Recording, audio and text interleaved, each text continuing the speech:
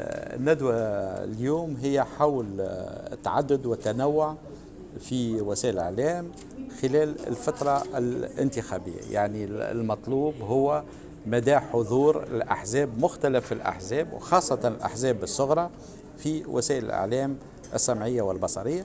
جاءت تشكيات كبيرة جدا من قبل هذه الأحزاب إلى درجة الاتهام بأن هناك يعني آه، محاولات ممنهجة لإقصائهم من المشهد وأنه هناك يعني حضور مكثف لقلة من الأحزاب وهذا اللي خلانا نعمل ندوة في سبيل أنه نجمع الصحفيين وسائل الإعلام أصحاب وسائل الإعلام وأيضا الأحزاب والمجتمع المدني لمناقشة هذا الموضوع.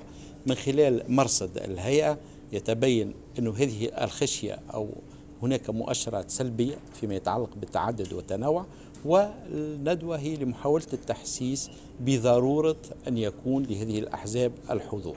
في التجارب الديمقراطية العريقة نلاحظ هناك حفظ لحق هذه الأحزاب سواء كانت برلمانية أو غير برلمانية مشاو حتى للمجتمع المدني في سبيل ترسيخ قيم التعدد والتنوع.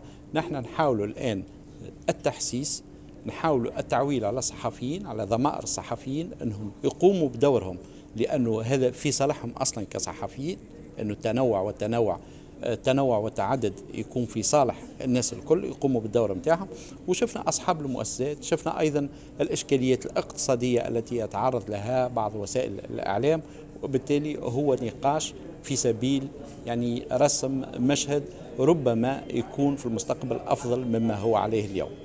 شكون فما توصيات تقدمها الهيئة رؤساء التحرير وسائل الإعلام هو كيف ما تعرفوا الفترة الانتخابية جاءت النصوص تقول إنه تسهر وتضمن الهيئة ولكن في المرحلة الانتخابية في حد ذاتها هناك إلزام. وبالتالي نحن لاحظنا إنه هناك التزام كبير جدا في المرحلة الانتخابية ولكن ماذا تشكل المرحلة الانتخابية بالنسبة لمدار سنة؟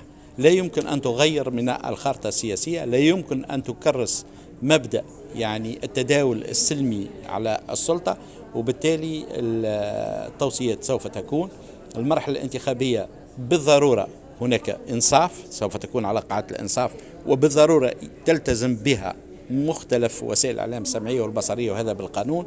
ولكن الهدف هو أبعد من هذا وهو كيف نكرس قيم التعدد والتنوع على مدار السنة.